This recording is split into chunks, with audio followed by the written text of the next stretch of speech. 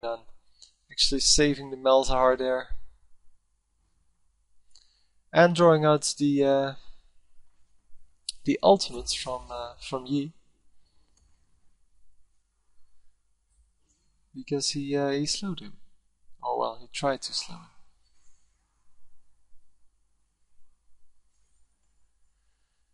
So killing all the minions with the whole team, and now they have a minion wave to uh, to push this turret.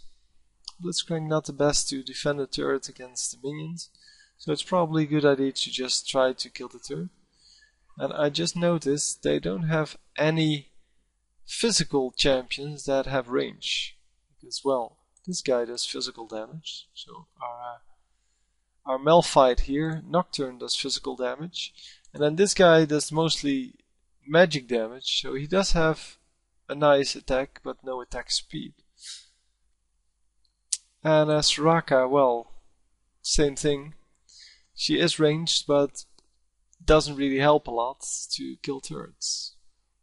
Yeah, get this turret already.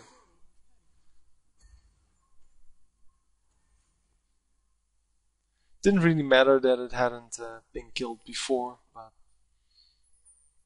just, just looks kinda silly to have a turret sitting there at uh, 50 HP or so.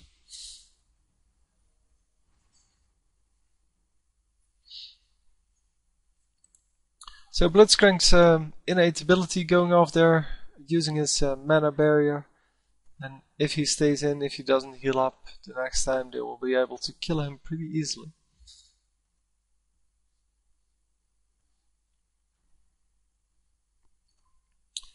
And the DPS champions coming in to take a look.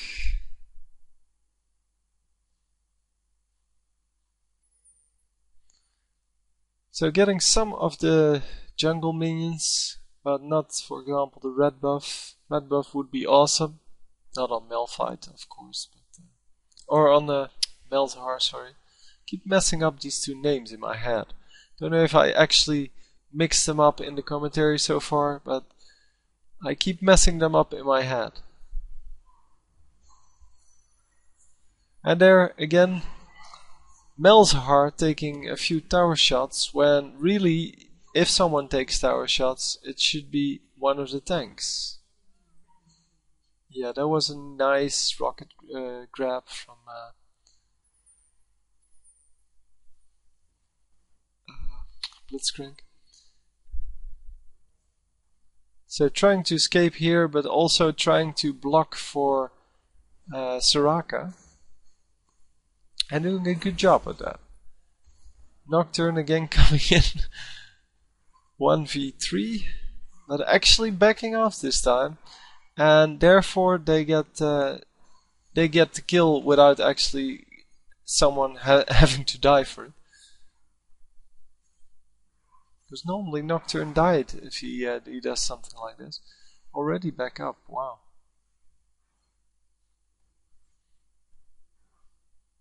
So they uh, can now push the turret once more. They have uh, this little tank dude, which will help them get the turret down probably, because he doesn't die too easily.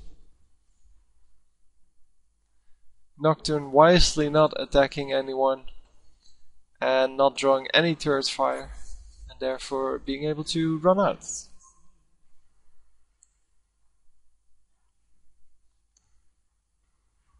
So it's probably a good idea to back off here because everybody is going to defend this turret in this really small space and this is where the advantage goes to the defender in this spot.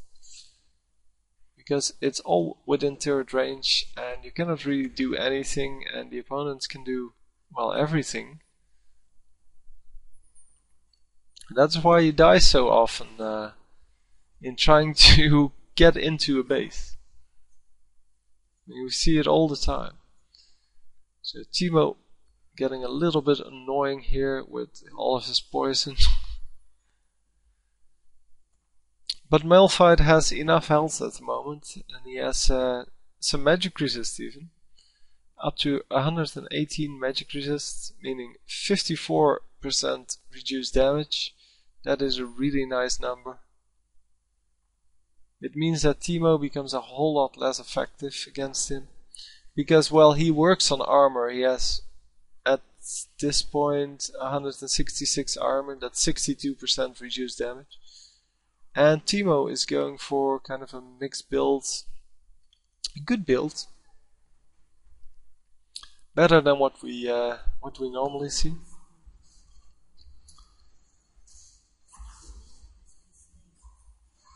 So some really nice action going on here. Probably should be going for Teemo a little bit earlier in the fight. Because Teemo and Yi are the two that do the most damage. Not this Kassadin dude. And Kassadin is uh, going to get out of there anyway because of his Rift Walk. His uh, ultimate. Which will be, uh, which basically gives him a flash every uh, I don't know, something like 10 seconds. And it, they do cost more mana with every time you use them in a certain period, but um, yeah, it doesn't really matter too much.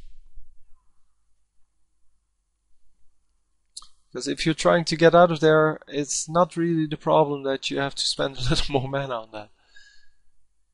It's only early game that you don't have enough mana to do it twice or three times. But normally you can use it pretty well to escape.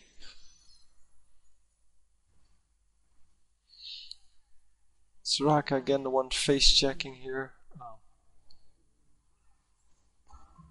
Someone running into a mushroom somewhere. Come on, get him.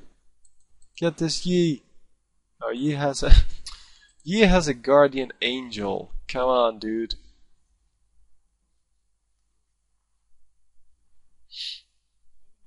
I mean, I uh, I said in the last video that everybody should get a defensive item, and I still say that. I mean, don't get me wrong, everybody should get a defensive item because they're highly underrated.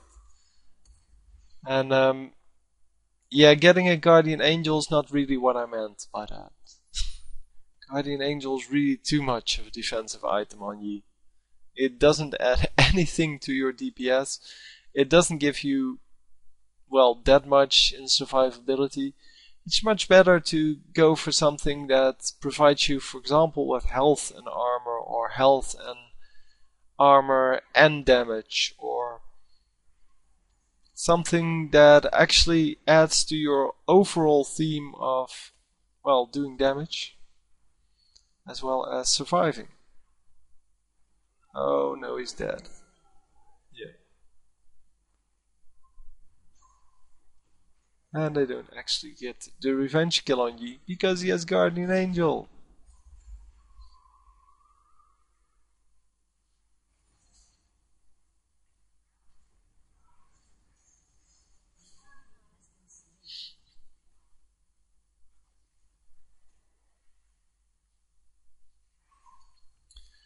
So we cannot see a whole lot going on because, well, we can only see the names. I can toggle the names if I'm correct. Hang on. Should be something like this. Yeah, there we go. But yeah, it doesn't really matter.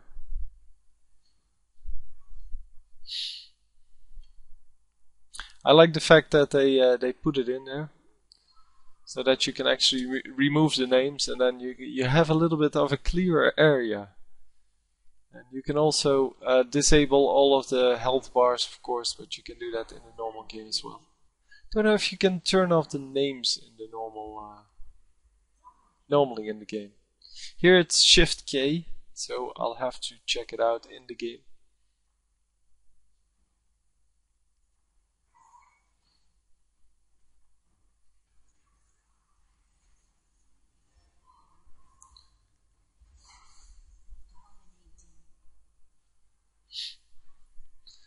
So farm-wise, while we wait for Malphite to actually come back to us, uh, farm-wise we see that Malphite is at a nice third place here in his team and in a, well, third place overall as well.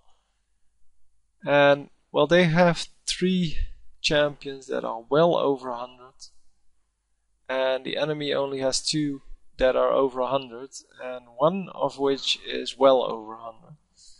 So even if they didn't have this uh, this huge advantage uh, in just kill gold, they would still uh, have the advantage in the minion gold. Because only Teemo seems to be farming uh, efficiently. But that probably means that he doesn't have a lot of uh, mushrooms runs the map, and it's already a surrender, unfortunately.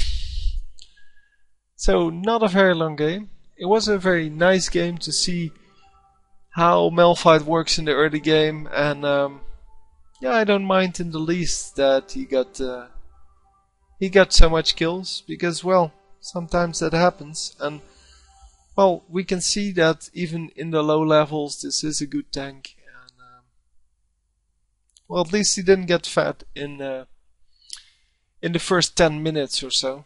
So we got to see the real way this hero functions. We got to see him tower dive at like level, I don't know, 6. and escape with under 10 health.